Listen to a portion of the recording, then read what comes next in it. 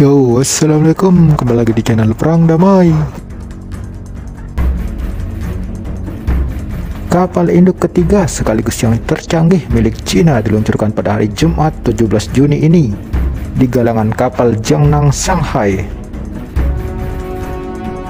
Dikutip dari Great Wall, kapal perang tipe 003 yang diberi nama Fujian dengan nomor lambung 18 ini adalah kapal induk pertama di armada kapal induk Angkatan Laut Pembebasan Rakyat Cina yang menggunakan sistem ketapel elektromagnetik untuk meluncurkan pesawat dari dek. Kalau tipe yang lama itu ada lengkungan di ujung kapal induknya biar pesawat bisa naik ke atas. Yang baru ini nih pakai ketapel. Udah kayak sistemnya Amerika aja.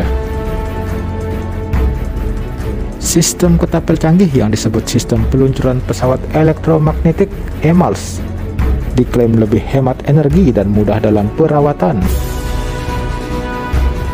Sistem ini juga digunakan pada kapal induk Gerald R. Ford milik Angkatan Laut Amerika Serikat. Plans Fujian 18 memiliki bobot lebih dari 80.000 ton. Televisi Pusat Cina atau CCTV mengatakan untuk pengujian sistem lainnya dan navigasi kapal akan menjadi prioritas pertama setelah peluncuran ini. Wah, Cina nggak main-main, udah kapal induk ketiga aja.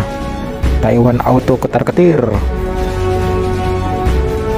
Dari sisi Indonesia, belum lama ini Menteri Pertahanan Prabowo Subianto menegaskan Indonesia akan memegang teguh politik luar negeri yang bebas aktif dan mempertahankan Asia Tenggara sebagai kawasan yang damai, bebas, dan netral. Empat hal tersebut tertuang dalam semangat deklarasi Zone of Peace, Freedom, and Neutrality ZOPFAN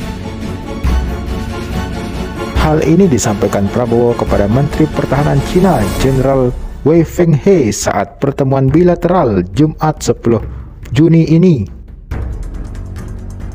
Jadi seminggu sebelum kapal induk Cina rampung, kita sudah bilang ya, kita nggak mau perang sama siapa-siapa.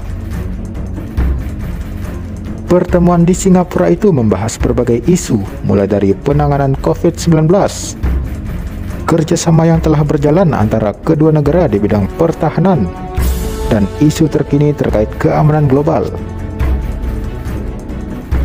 Pertemuan ini merupakan bukti terjalinnya hubungan kerjasama pertahanan yang baik antara kedua negara. Semoga kerjasama dan persahabatan antara Indonesia dan Cina dapat terus terjaga dengan semangat persaudaraan dan prinsip saling menghormati, kata Prabowo dalam keterangannya Sabtu 11 Juni 2022 ini. Catat nih Cina, persaudaraan dan prinsip saling menghormati. Jadi jangan masuk-masuk Natuna dong.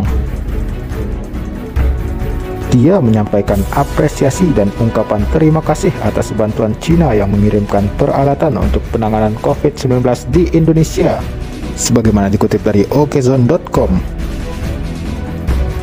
Kalau soal COVID mungkin emang banyak ngebantu ya, tapi apa nggak sekalian nih pertemuan itu buat ngebahas teritori Indonesia yang beberapa kali dimasuki sama Cina Pak? Harus diakui, Cina kini sudah menjelma menjadi salah satu kekuatan utama di dunia militer. Namun patut diingat, sejengkal tanah pun tak akan kita berikan kepada siapa saja. NKRI harga mati. Sekian untuk episode bermanfaat tentang kapal induk baru Cina dan hubungan antara Cina dan Indonesia kali ini. Wassalam.